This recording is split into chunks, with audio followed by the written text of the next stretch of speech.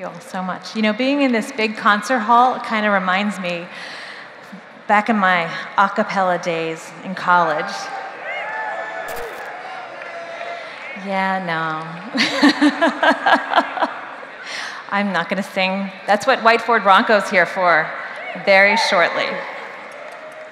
But we here at the Center for Democracy and Technology want to thank you Thank you so much for your support of this great organization over the last 25 years. Sure, we can throw a really great party, right? But even more, we know how to make real change happen. And we do that through the slightly less glamorous work showing up every day in meetings and negotiations, in conference rooms in Washington and Brussels and Silicon Valley, in hearing rooms and courtrooms around the world. The Center for Democracy and Technology fights for the rights of the individual in the digital age.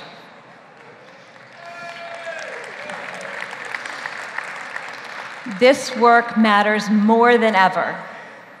Democracy and democratic values are under attack around the world. And while technology increasingly informs almost every aspect of our daily lives, democratic values are not yet fully embedded in every aspect of technology. We believe that technology can and must inform and advance democracy. This is the heart of CDT's advocacy here in the United States and in Europe, where just this year, CDT was formally incorporated as a recognized European NGO, CDT Europe. We believe technology can serve the first principles of democracy, and so we are working to make elections more secure around the world. We believe technology can advance the individual rights that are essential to a democracy, and so we push back against calls to weaken encryption. We believe that technology can support an informed and an educated electorate when we call for stronger privacy protections for student data and better technology in the classroom. And we believe that technology can respect and advance human dignity when we challenge warrantless searches of devices at the border.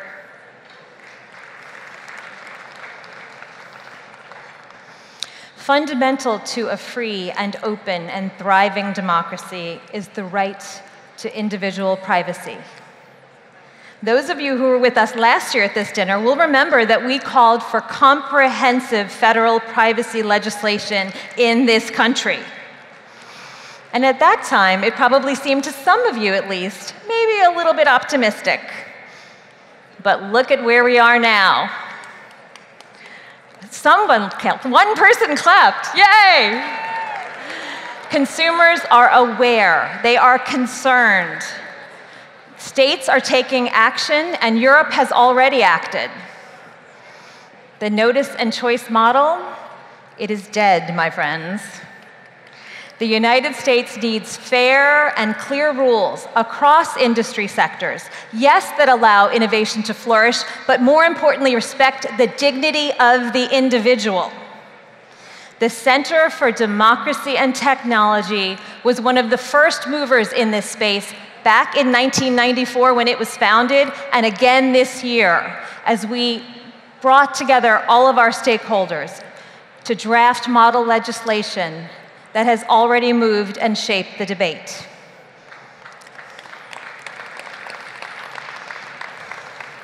Congress needs to act now. We will get this done. Freedom of expression and information are also fundamental to the democracy. And CDT works every day to promote the internet's best and highest use as a platform for individual speech. We work every day to combat censorship of all kinds and to address the real challenges that online speech creates. And we must all confront together the scope, the scale, the shape of misinformation, extremist content, and hate speech.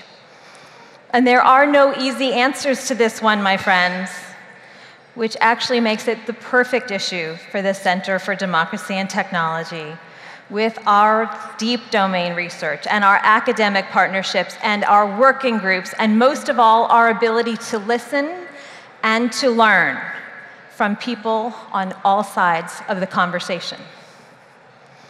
As always, as you see, the Center for Democracy and Technology team is hard at work, and there is yet so much more we can all do together. Because it is certainly true that technology can be an equalizer from voice activated devices, assisting people with mobility or visual impairments, to connected classrooms, to data enhanced health decisions. Technology is helping improve lives and, yes, democratize society. In my life, ubiquitous technology allows me the ability to both work and to parent, to fill two full time roles, not always with the grace that I would like but on many days to be virtually present in two places at once. Technology is an equalizer of opportunity for me, and it is for so many others in so many different ways. But it is time. It is time to move beyond this narrative that technology is an unfettered good and move into a discussion of impact. It is time to talk about power the power of data, the power of platforms, the power of scale and network effect. It is time to talk about the harm that our digital communities are having on real people in the real world.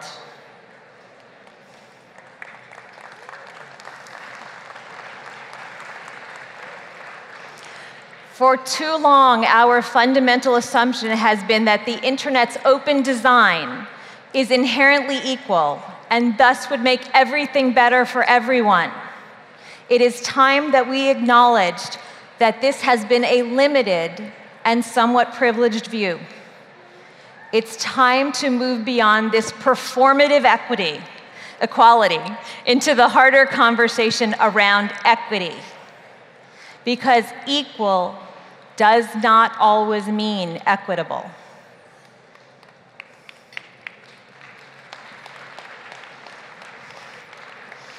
Inherent in the very architecture and infrastructure and design of many parts of the internet are the values and experiences and beliefs of the creators.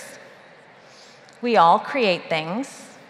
Some of us create art, some of us create music, some of us create children that reflect us and often look like us and hopefully inspire us. But not everyone can see their reflection in this thing that we have increasingly embedded opaquely in so many people's lives.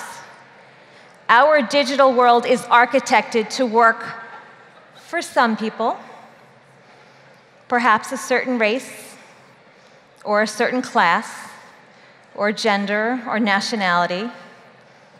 And that's super great if you happen to be one of them.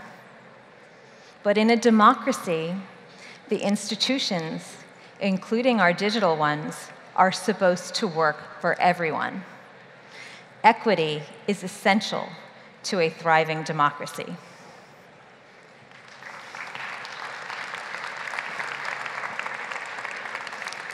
It is time that we each embrace a greater individual and institutional responsibility in our digital age. Each of us has a duty of care to this democracy. So here's our challenge for you. How are you, yourself personally, in your work or your institution, how are you informing and advancing the democracy? policymakers, and I know there are many of you in the room from the United States, from Europe, Commissioner Jourova, and others, wherever you sit, Are you challenging your assumptions about how real people in the real world are actually using technology? Are you thinking through the unintended consequences of your decisions? Are you considering the real world impact of the online spaces we are creating on all of the beautiful communities that we seek to serve? Creators and designers, are you including new voices and viewpoints during your design phase? Are you stress testing your systems to ensure they are ethically serving a diversity of communities? And whether your product is an online game or a job search platform or something else entirely, are your creations informed by values of equity?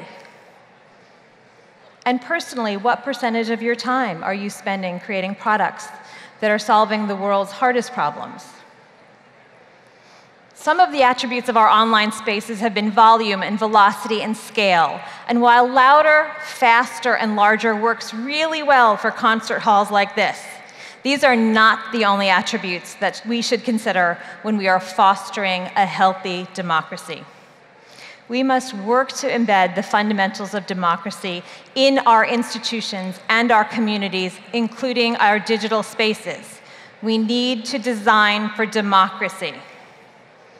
It's on all of us to do better. And when it comes to the work of sustaining democracy, as the saying goes, none of us are obligated to complete the work, but nor are we free to abandon it. More than 25 years on from the dawn of the commercial internet, the dialogue around the technology in our daily lives has profoundly changed. And CDT has been here for all of these past 25 years, and we are looking forward to the next 25 to help you craft policies and laws and design technologies and build norms and institutions that will advance democracy.